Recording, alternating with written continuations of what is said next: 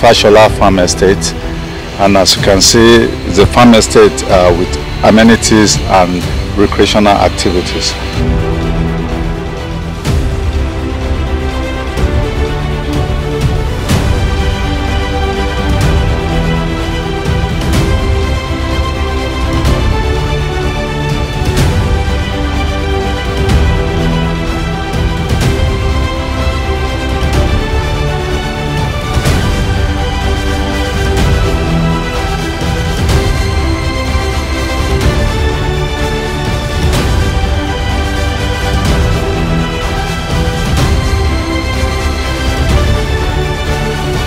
The gateway section of the Fashola Farm Estate.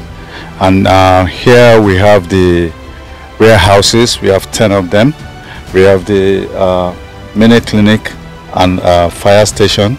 And then we have the plant and equipment shed where um, all the equipments like um, tractors are going to be serviced and all of that. And that's the major road uh, that you can see that uh, leads us to the uh, farm area.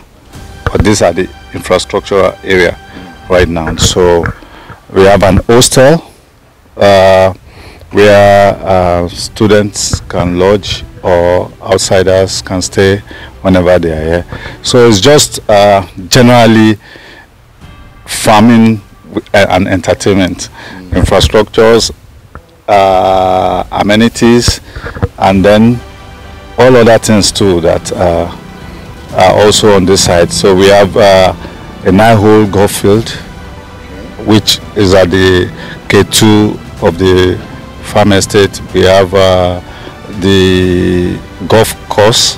We have the golf house. We have mini clinic. I, I mean, we have the crèche. We have the admin and then we have a leisure center still under construction and then luxury apartments. So it's all encompassing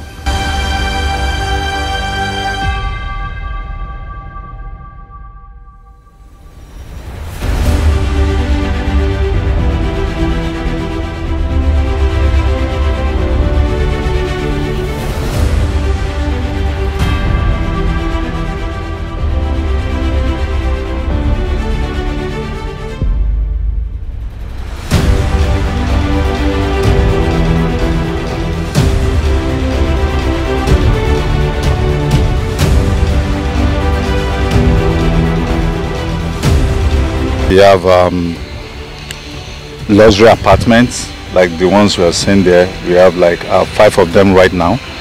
That is uh, about 90% uh, completed.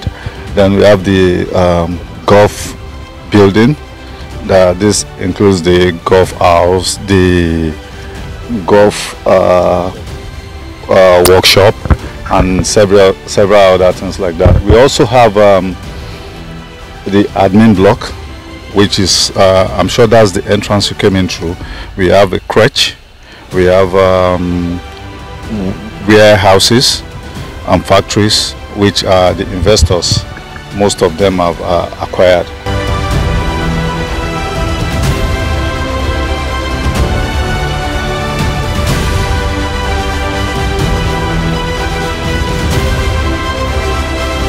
The next um, in the next 30 to 60 days, mm. we are good to go. Because when we got here, it was a virgin land.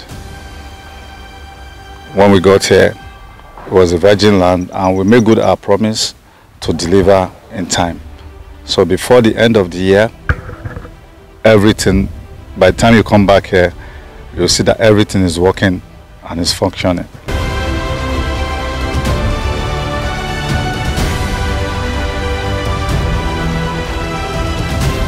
It's the first of its type. It's a laudable project uh, conceptualized by um, and Oyo State government.